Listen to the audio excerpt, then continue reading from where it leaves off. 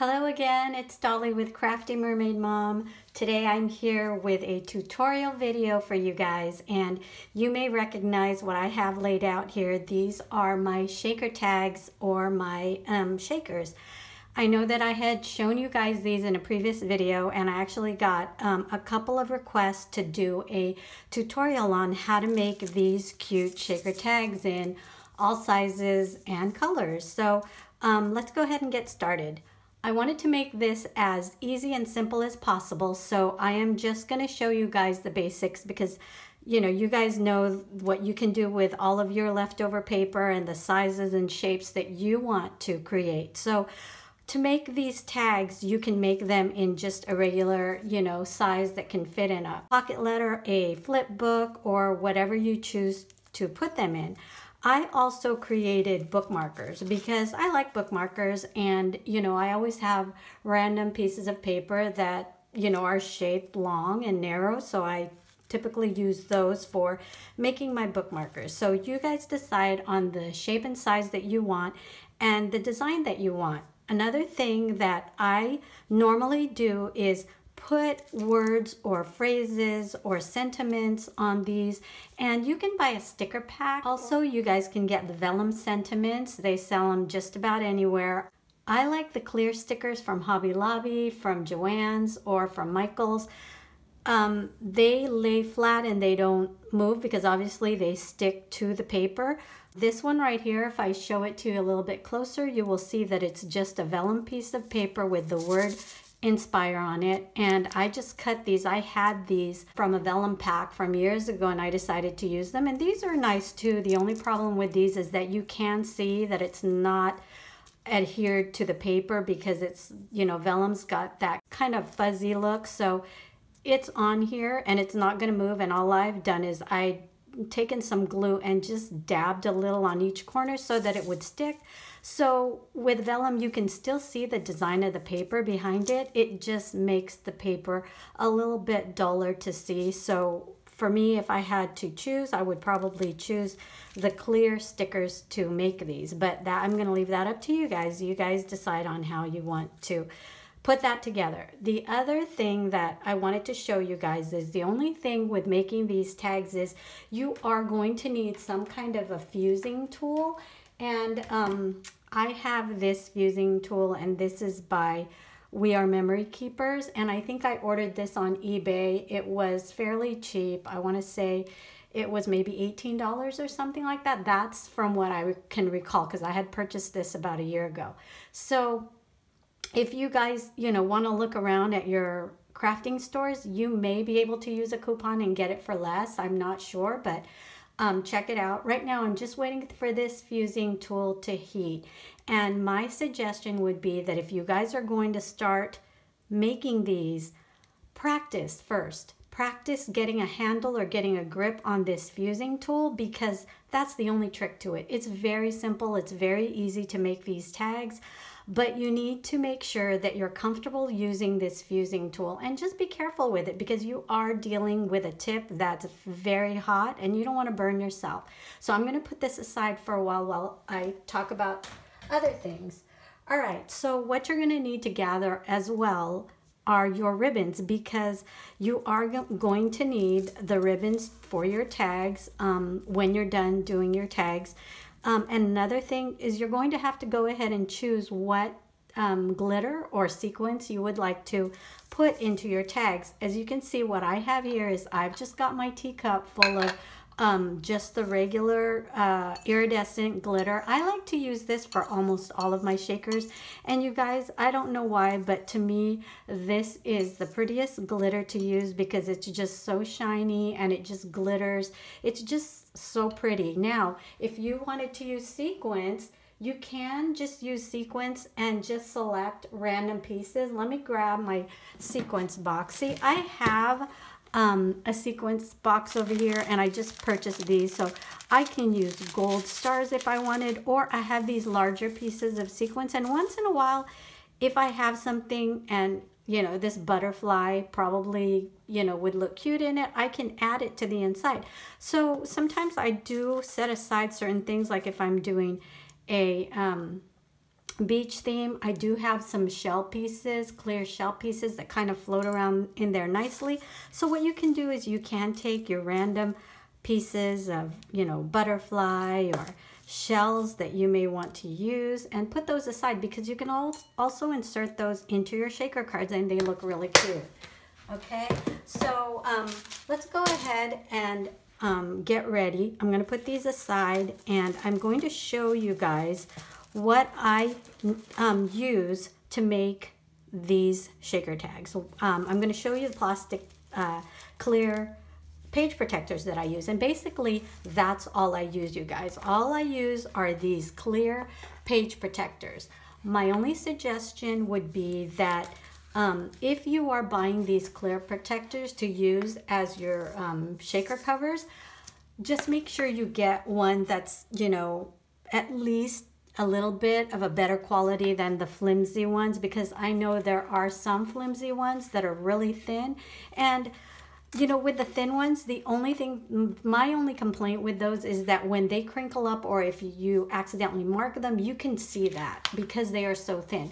These ones are probably medium quality so they're not super expensive but they're not the super cheap ones either. So that's my only suggestion is if you're going to go through the work to put these together, at least use the plastics that um, have a little bit more quality to them, okay?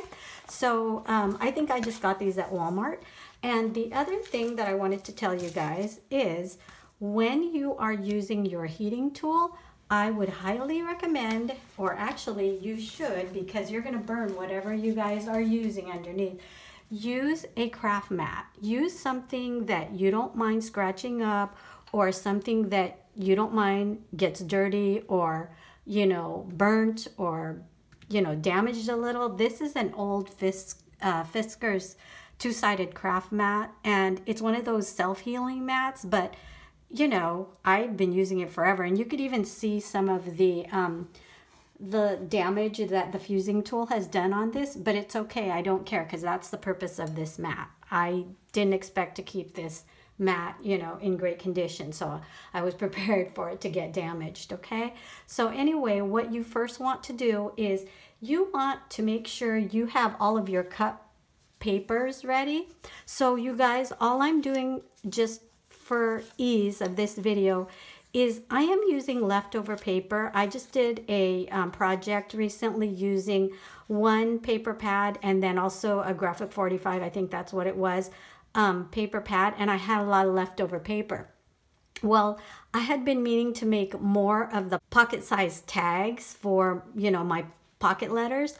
And so what I did is I took all of my leftover pieces and I went ahead and cut them to get them ready. And then I took my words or my phrases and I went ahead and stuck those onto these cards, which you should probably be prepared before you start using your fuser. So I have stuff that says hope, create, be you, be happy, dream big, live, be kind. So, you know, just go through your stickers and see what you have and just make um, your cards ready so that when you're ready to fuse, they're there and you can um, stick them inside the pockets before you actually start to fuse, okay? So I'm gonna put these aside because I want to go ahead and get my paper ready. Or not my paper, I'm sorry. I wanna get my um, plastic ready. So what I want to do first then is I'm going to take my paper and I'm going to insert them into this um, page protector and I'm going to make sure that this is all the way down to the corner, the first one, okay? So I have it all the way down to the corner and you guys, the fusing tool does come with a fusing ruler. It looks like this, at least this brand does. Um, and so you can use this. It's really helpful um, because it will make sure that your, um, that your line where you fuse is going to be straight. So I'm to go ahead and start fusing because I think my fusing tool may be hot enough already. I'm hoping that it's hot enough already. So what I want to do is I want to take my tool now that I've got my um, card in there and I'm just going to fuse this against the ruler, okay? So all I'm going to do is I'm going to press fairly hard on this and go a little past where the card ends because I'm gonna have to seal this, okay? So I wanna do a couple and um, I'm gonna go ahead and not finish this off yet because I wanna do more. Okay, so now um, what I wanna do is I'm gonna take another card, but before I take this other card, I'm gonna have to create a new line because I am going to have to cut this. And this is really important to remember you guys because um, every time that I had done this, I was going a little too fast. And what I would do is I would forget to make a double line and I would I would go ahead and butt this against this line and then I do another one and remember how am I supposed to cut it because then you're going to have one side open. So just remember double line between each card, okay? So I'm going to take my ruler again and I'm going to do another line because I'm going to start a second one. So I'm going to take that and I'm going to do about the same height, okay? And now I'm ready to stick my other card in there, okay? So there you go. Okay, so now I can seal this one and just follow along with me because this gets really easy, you guys. And I'm telling you, it's very addictive because once you see how cute um, what you created comes out, you are just going to have so much fun with it and you're going to want to make more. So, okay, so now, reminder, I got to do another um, double line because I am going to prepare to put another card in there. Um, and I swear it's so frustrating, you guys, because when I did this last week, I kept forgetting the double line. I don't know. I was just rushing, you know, through it too quickly that I would forget the double line. So, okay, let's do, we're going to do Be Happy. Let's do these. And it's so fun, you guys, like especially if you have a, a favorite paper that you like, um, you know, it doesn't have to be a remnant. Just cut a piece of that paper uh, um, out and you can create whatever you want with it. And for me, I just choose to use my um, leftover scrap of scraps of paper because I don't like to see anything go to waste. So that is what I normally do. Okay. Okay. All right, so as you can see, you cannot fit another one here unless you wanted to do a really skinny tiny one, which I doubt you would want to do. Okay, so now I'm gonna show you closer where I've fused. This side right here, I didn't have to fuse because this is already closed off. I fused here, I fused here, I fused here, here, and here, okay? So now we're gonna close off the top, but before we close off the top, we need to insert our glitter or whatever it is that you're going to put in there, your sequins. So what I'm going to do now is I'm going to go ahead before I even um, close this off and I want to cut this, okay? I want to cut this because I can still use the other half of this, you guys, for, um, you know, more tags. So all I'm going to do is I'm going to cut this, well, this doesn't have to be perfect, so I'm just going to cut halfway. You guys can measure it if you want a perfect line, but I know I'm just going to cut this piece off anyway. So there you have it. Um, so far you've got that done. So what I'm going to do now is I'm going to cut these edges off just to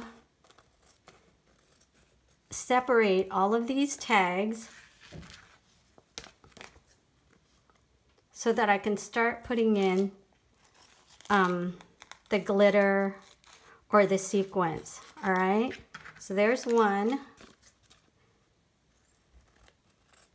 And sometimes, you know, you can go back and cut off extra pieces of the um, plastic that you feel like you didn't get the first time. I don't like to cut too close to the edge because I don't want to take a chance on um, ripping the seam open. So I'd rather have extra plastic than to have the seam rip open. And you guys, when you're using your fusing tool, make sure that it's hot. I think, you know, you should at least give it about um, five to eight minutes. I like to give it 10. And then last week I was using my fusing tool so long and I didn't realize, oh, I thought it broke. It just stopped working. and I kept trying to figure out what was wrong with it and I think that it might have an automatic shut off after it's been on for like more than an hour which is great because I don't want to set the house on fire but at the same time it was really frustrating and then I, I what I did is I unplugged it and then I replugged it and it worked again so you guys if you have this fusing tool tell me if that's normal if it does have an automatic shut off because I really want to know I wasn't sure if you know mine was um, defective or what. So I'm going to cut a little off the top because I don't want to have a hard time when I'm trying to um, put the sequence in. And at the same time too, don't cut off too much because you're to have to close that top off, okay? All right. Okay, so now I'm to take my sequence. I just stuck my sequence in my teacup. Thought it was pretty. All right. So you know, normally what I do is I like to have them on both sides, but I don't put too much in. And you guys, look at these cute little shovel spoons. I had gotten these like probably about a year ago or even more than a year ago, but I got these because they're flat. Look how flat they are, but they've got a little bit of a scoop to them so that when you're trying to stick these in here, you know, they fit, they go right into these really easily. And I think I bought like this big pack Hold on one second. Let me show you guys. So see, I think this was from Dollar Tree. They're Happy Party plastic ice cream spoons. So they're like these little cute flat ice cream um, spoons that um, I got a while back. And I don't know if they still have them, but go to the party section if you guys want to look for them and see if they have them still. Like I said, I've had this for over a year. So all I'm going to do is I'm going to take... Um, I don't like to add too much because I want it to, to be able to be, um, to have the design show too. So I'll probably just do maybe two little spoonfuls, two tiny, two tiny ice cream spoonfuls, which is hardly anything when you're using this spoon. See? So look how pretty that is. You can kind of see, I hope you guys can see how pretty that glitter is. Let me show you on the other side. Okay, so that's what it's going to look like. You don't need you don't need a bunch, but you can see it. You can see where the glitter is on that. And that's why I love this iridescent glitter, you guys, or sequence. Okay, so I'm going to go ahead and fill the other two um, I didn't make more than three for the sake of keeping this video short, you guys, because I, the main objective of this video is to show you guys how I do it, and then you can get creative on your own, okay? So here's another, and then I'm going to do the last one. And I just love these little, oops, see? I made a mess. Anyway, I just love these little ice cream spoons because they're really easy to work with and they get in your, um, I think I put too much on the other side. Okay, well that works, okay. So anyway, I'm gonna put this aside now. See, I've got glitter all over the place, you guys. All right, so now we're ready to seal these, okay? And this is the fun and easy part, is you're almost done. So I want to make sure all of the glitter is way in there because I don't want any of the glitter pieces to get in between where I am actually sealing these. Okay, I don't want it to get where the fusing line is because then it might make it um, flimsy and it might open up the seal. Okay, so now I'm going to take my ruler again, if I can find it. Here it is. Okay, so what I like to do is I like to face it this way because I want to see that my line is straight and I want to make sure I'm fusing it in the right place, okay? Um, so all I'm going to do is fuse that shut. I have one and I'm going to do this one.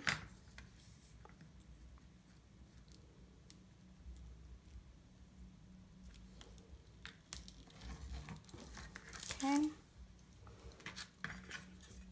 And then the last one.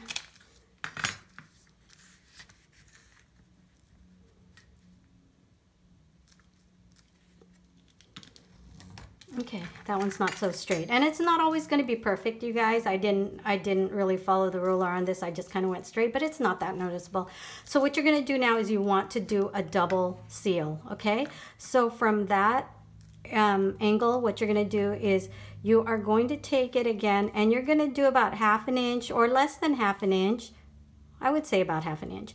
um, and seal that too right there okay so you could see you've got a double line you've got one here and you've got one here okay I'm gonna do the others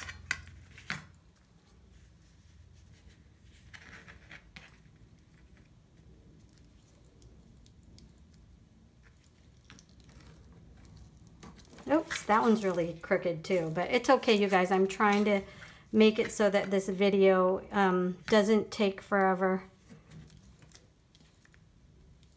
I'm kind of on a time crunch here, so, all right. Okay, that one's a little straighter. But anyway, once you get the hang of it, you guys will be making straight lines, no problem. So what you want to do then is you're going to go ahead and cut um, close to where you sealed so that you can finish it off.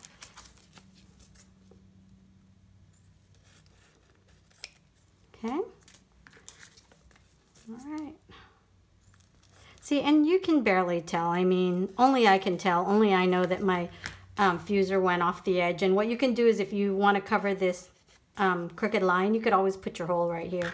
All right, so you guys are done. Basically, that's it. All you need to do is embellish it now. So what you want to do is you want to, and I don't have, I didn't bring my hole puncher with me. It's downstairs, so sorry you guys. So you're going to just use your hole puncher. You can punch a hole right in the middle. You could do it on the side and then, you know, have a ball with all of your ribbons and, you know, take your remnant pieces, you guys, um, of all of your ribbon. Look at my stash here. I've got a ton of ribbon that I can just pull out of my stash and just um, use and work with and just find something to match these and you are done. So after you have made these, you're gonna have all of your pretty, beautiful shaker tags that's gonna look just like this and you're gonna go crazy like I said so I actually have more to do and I'll probably finish these ones off um, after I do this video. So I hope that you guys really enjoyed this video and that it was helpful to you. Um, I really enjoyed showing you how to make these and I would love to see what you guys create. And if you have any comments or questions, please leave them below. And if you enjoyed this video, please do give it a thumbs up and I hope to see you soon. Bye everyone.